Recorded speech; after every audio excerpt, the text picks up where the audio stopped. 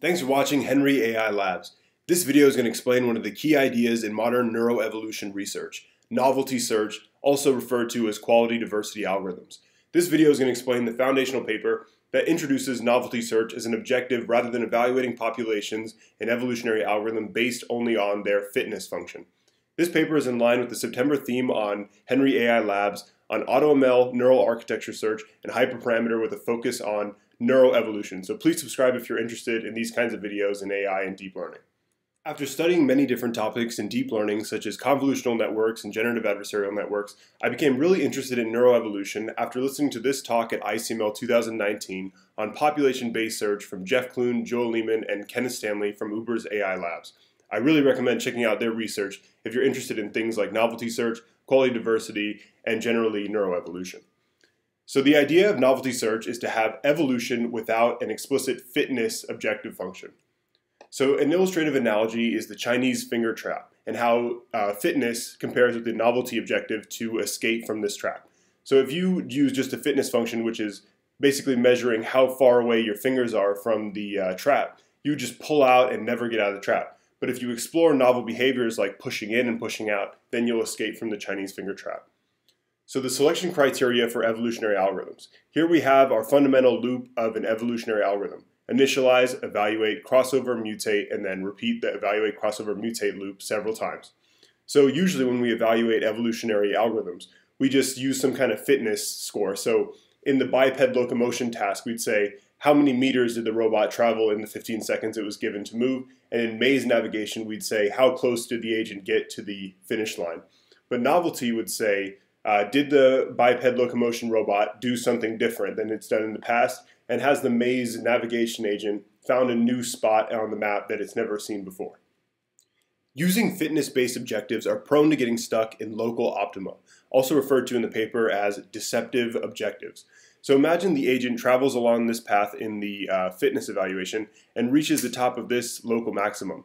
It has no real way of getting off of the top of this hill using the exploration techniques, crossover and mutation frequently deployed in uh, evolutionary search algorithms especially because it's really hard to engineer such a crossover or mutation that would cause it to really go far in high dimensional space. This is only a three-dimensional visualization. In many of our previous videos on neuroevolution on Henry AI Labs, we've looked at how neuroevolution is used for neural architecture search, particularly for image classifiers or uh, language models that build recurrent neural networks. So in this context of this paper, we're looking at neuroevolution to build neural networks for control tasks, so this is kind of like the neural networks that are used to map uh, states to actions and reinforcement learning tasks. So for example, in the maze navigation task, the agent has these sensors input about the environment, and it has to use this to make decisions like move left or right, forward or backwards.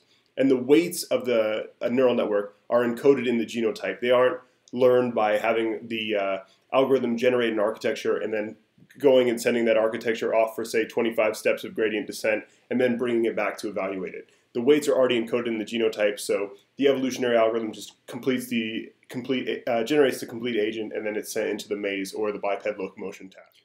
So in the algorithm, we'll be rewarding agents based on novelty, rewarding an agent for performing a new behavior, calculated with a reference archive of all previously explored behaviors. This is in contrast to other evolutionary algorithms that use a fitness objective, where you reward an agent for getting closer to an objective function.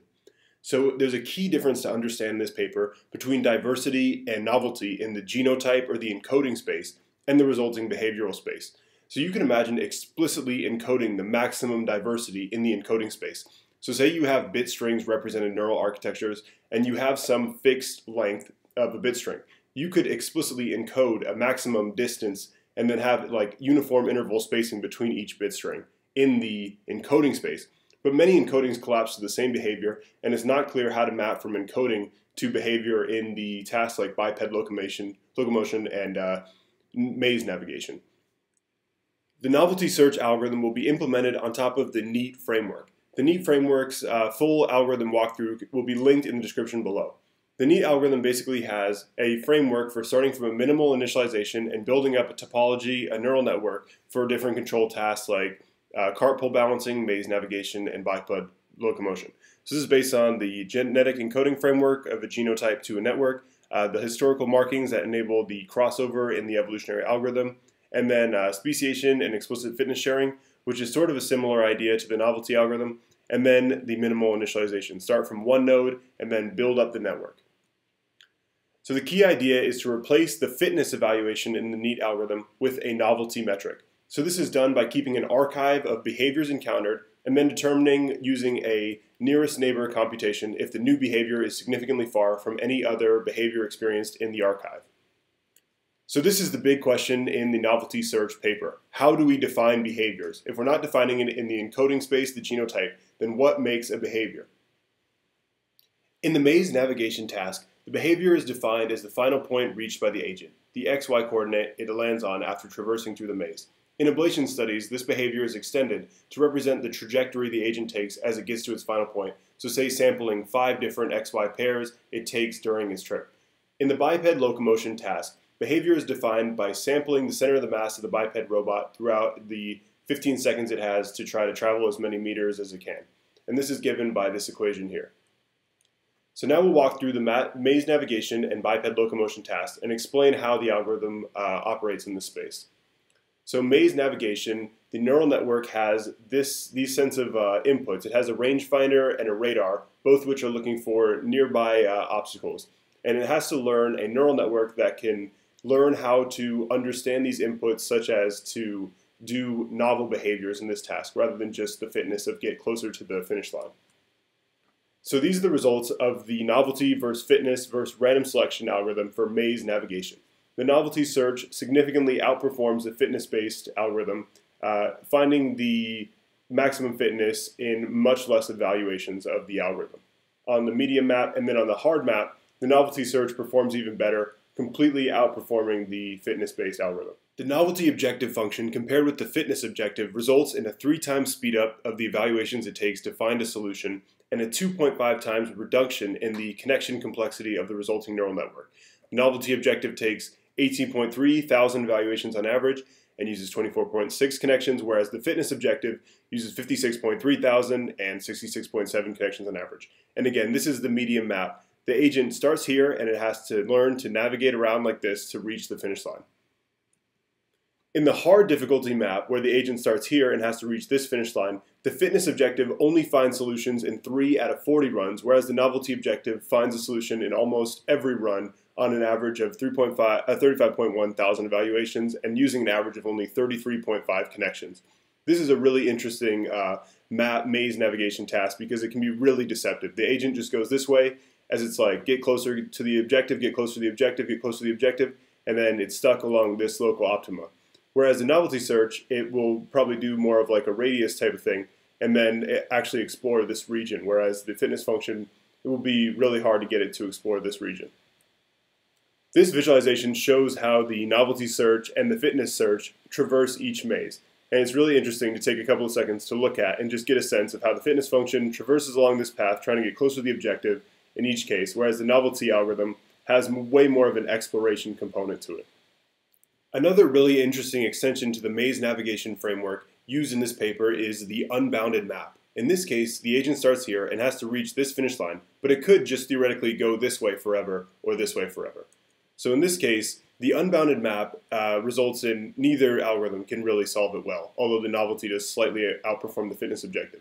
So this shows that although novelty search is more successful, constraining the space of possible behaviors is still very important, and fitness search isn't necessarily the alternative when novelty doesn't work, because still fitness doesn't work in this type of scenario. Another interesting component of this algorithm that we mentioned earlier we talk about is the idea of the behavioral complexity. So this chart shows what happens if you sample the trajectory of the maze navigation rather than just the final point. So 100, for example, represents sampling 100 different XY pairs to define a unique behavior in the archive. And this plot shows that even with this increased dimensionality of the behavioral space, the novelty search is still able to perform the task. So now let's get into biped locomotion. In biped locomotion, the agent can apply force on two different degrees of freedom in each hip joint and one on the knee joint. And in this case, the knee can go uh, forward and backward like how birds walk because it doesn't have like a torso or an ankle joint to uh, balance itself. So the intuition of novelty search on biped locomotion is that initial attempts might just simply fall down, However, the novelty metric would reward falling down in a different way, regardless of whether it's closer to the objective or not. but an objective function may explicitly reward falling the farthest, so just leaning forward and falling that way. Because even though it doesn't really lead to the ultimate objective of walking, it does increase the local optimum of getting closer to the uh, finish line. So after a few ways to fall in the uh, novelty search are discovered, the only way to be rewarded is to find a behavior that doesn't fall right away. So behavior, again, in the biped locomotion task is measured as this distortion of the center of the mass of the robot and is sampled repeatedly uh, during the 15 seconds the robot is given to walk as far as it can. This plot shows how the novelty search outperforms the fitness-based search on average runs with the distance achieved in the 15 seconds. The novelty search averages 4 meters, whereas the fitness search averages under 3 meters. Also notably is it uses much less connections eh, slash complexity in the neural network. But the most interesting trend is that the best member of the novelty search population travels 13.7 meters, basically uh, more than doubling the best result from the fitness objective function. From my interpretation of the paper, the most interesting takeaway I had is the detection and classification of these behaviors in the uh, agents in the control task. So it's interesting that in both these pro uh, problems, they have these heuristics for evaluating behaviors by sampling things like the final location in the maze navigation and then the center of the mass of the locomotion robot. So it might be interesting to see anomaly detection computer vision models that can observe the agent interacting in the environment and then detect if it has a novel behavior in that way. So it's interesting, will hard-coded heuristics like the center of mass distortion scale to more complex control tasks, like say teaching a robot how to shoot a basketball? Or will that require maybe another computer vision model in the loop that is doing anomaly detection, whether it itself is a generative adversarial network that models the distribution of behaviors and uses that to detect if the behavior is a novel idea or not. It's definitely interesting to think about the future of detecting novelty in the behavioral space. Thanks for watching this video on novelty search in our September edition series of Neuroevolution. Please subscribe to Henry AI Labs for more deep learning and artificial intelligence videos.